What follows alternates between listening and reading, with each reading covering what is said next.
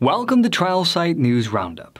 Today we'll be talking about Mansoura University in Egypt and their ivermectin based study results in superior viral clearance and peer review status in the Journal of Medical Virology.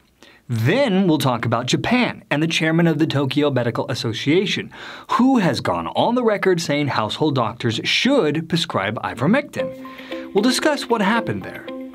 And so, from Trial Site News, I'm Adrian, and the News Roundup starts now.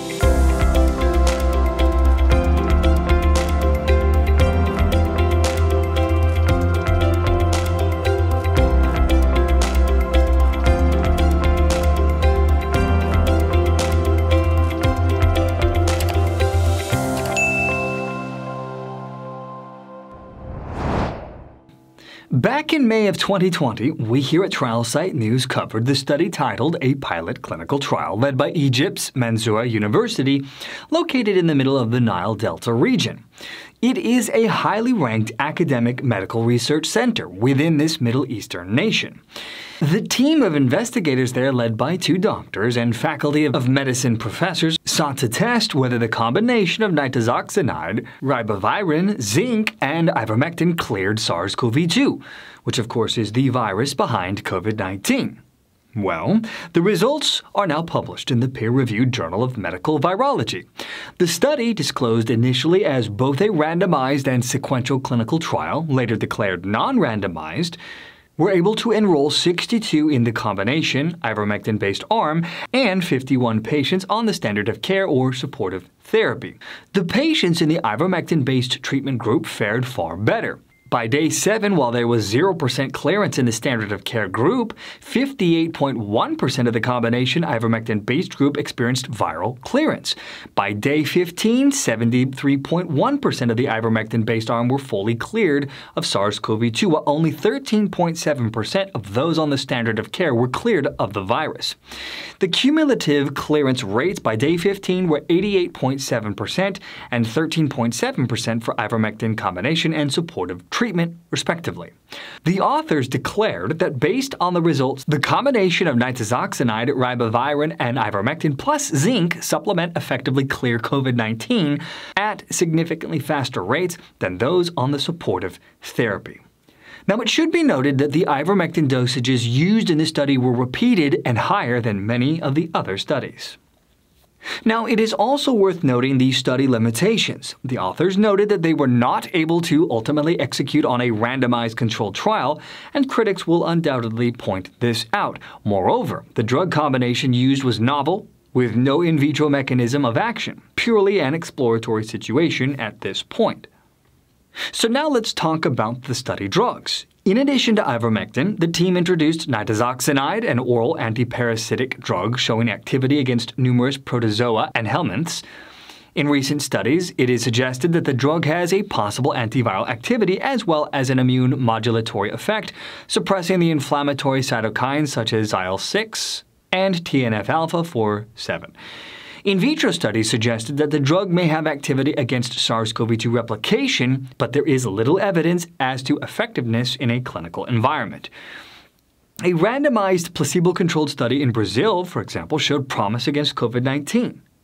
A later study in Mexico also reaffirms the positive potential for use of nitazoxanide. And then there's ribavirin, which exhibits broad spectrum antiviral impact against RNA and DNA viruses.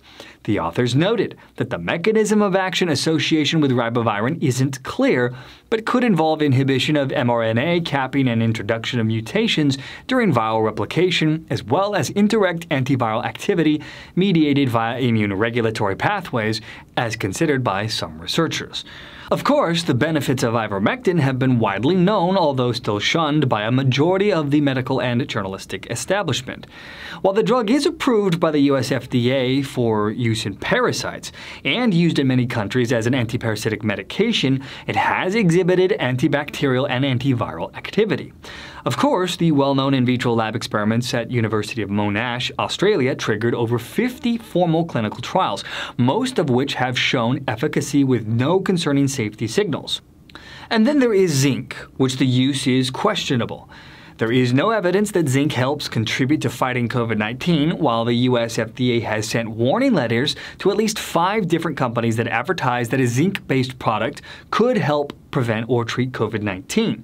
The World Health Organization posits more evidence is needed before any claims can be made.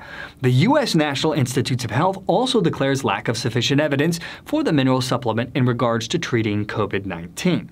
But on the other hand, the authors shared that zinc has well known antioxidant, anti inflammatory, immunomodulatory, and antiviral activities, the latter involving the suppression of RNA dependent RNA polymerase.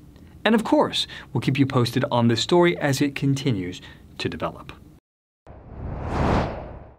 On February 9th, a prominent member of the medical establishment came out in a very public manner in favor of ivermectin as a treatment for not only patients infected with COVID 19, but also their caregivers. A prominent Japanese economics and business focused publication called Nikkei reported the chairman of the Tokyo Medical Association came out and recommended the emergency use of drugs such as ivermectin administered to those COVID 19 patients, declaring they exhibit efficacy towards preventing disease progression in other nations. Now, clearly, Dr. Ozaki falls on the side of a rapidly growing group of physicians and researchers that align with significant meta analysis involving dozens of randomized controlled trials, observational studies, and case series around the world. Dr. Ozaki also calls out for Japan health authorities to use dexamethasone, shown to help lower the death rate in certain more severe situations in hospitalized patients.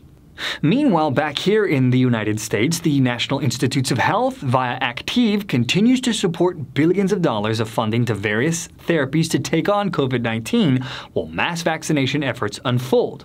We've documented how billions of dollars have poured into just a handful of vaccines and investigational therapies while the data for ivermectin continues to mount. There appears to be a disturbing chasm in the allocation of taxpayer dollars. The Public Research Agency has an obligation to support pharmaceutical companies' quest for novel therapeutics, as well as repurposed generic ones, particularly in a public health crisis with nearly half a million people dead. Now, it is worth noting that pharmaceutical companies have accomplished some heroic feats during the pandemic. The mRNA based vaccine development represents a historical milestone. However, it is not okay if taxpayer dollars are used to subsidize such accumulation, while at the same time other economical approaches are purposefully ignored by representative officials and government health authorities in the midst of a deadly pandemic. After all, the ivermectin data indicating some efficacy has accumulated for months now. The development of therapies and pursuit of generics should not be reduced to an either or false dilemma. Both should be happening. Now, as we have reported, meta analysis from researchers in both the United Kingdom and America reveal powerfully positive impact of ivermectin. A panel of experts from the U.S. National Institutes of Health COVID 19 treatment guidelines finally changed their position on the drug from recommending against, with the exception of research, to a neutral stance awaiting further study data.